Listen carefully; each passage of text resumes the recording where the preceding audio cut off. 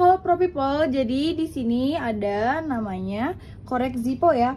Ini tahan angin dan ini bahannya terbuat dari stainless steel.